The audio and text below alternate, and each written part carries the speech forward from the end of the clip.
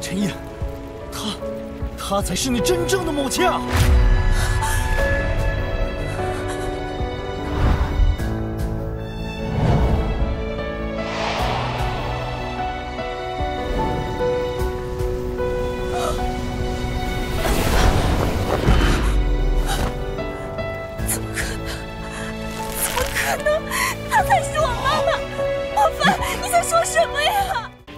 我没判断错，你就是我方十多年来一直在通缉的鬼父吧？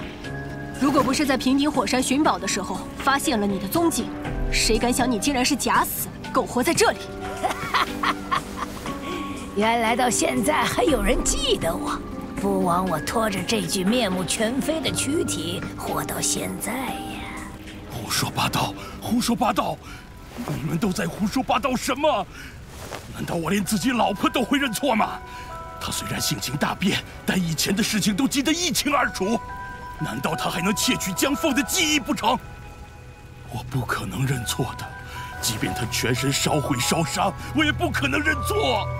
鬼父是心灵系和诅咒系兼修的法师，和你夫人长期相处，当然能窥探到他的一切。你夫人当年被天劫火焰吞没，是一个火焰生物相救才活了下来，她也一样，只不过救她的人。换成了您的夫人江凤，可是，可是江凤为什么会变成这副模样？她遭天火焚烧太严重，火劫国是并不能完全治愈，所以只能舍弃原先的躯体，灵魂依附在一个心窍之中，以现在这种形态存活着。我有一位亲人，浑身都被火焰烧伤。上下已没有一块完好的皮肤，无论请了多少治愈系名师，都无法恢复到从前的样子。你说的是那个常住你家的远亲陆建离？她是我的母亲。啊？什么？既然她是你母亲，那我们成天喊伯母的是谁啊？你说呢？你母亲身上的烧伤，就是这里的火焰导致的吗？就是天劫火焰。十二年前，我父亲和母亲一同到这轴原北角寻找一种火系灵种，不幸也遇到了天火，眼看就要被火焰吞没。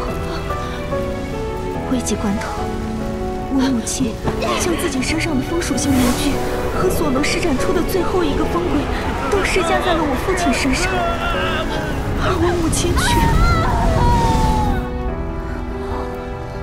你妈妈好伟大！父亲逃过一劫，而且他带回的宝物正是家族最紧缺的资源，于是地位便与之前截然不同了。我母亲虽被天劫火焰吞没，但由于她主修的是火系，而且不知什么原因，有一只浑身都包裹着火焰的生物出手救了她，奇迹般的活了下来。那个生物为我母亲吃一种特殊的果实。才让他的内脏也不至于一起焚毁。就算如此，我母亲也在卓园休养了好多年，才勉强能够行动。终于，得到一对前来寻宝的猎法师相助，才重返家族。接下来发生了什么，你们应该能够猜到了。我父亲为了不影响自己的安逸生活，根本不承认我母亲的回归。而是随便给他安了一个身份，然后又举起来。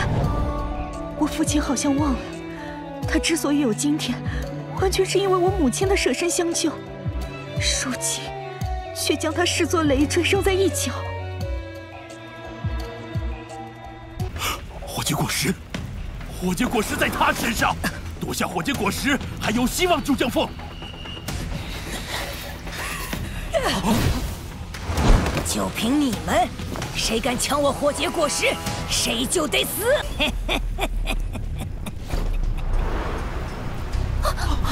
摄魂口信，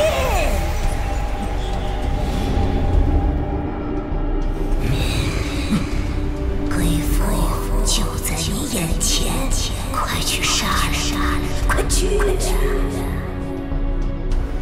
老鬼婆，又玩什么鬼花样？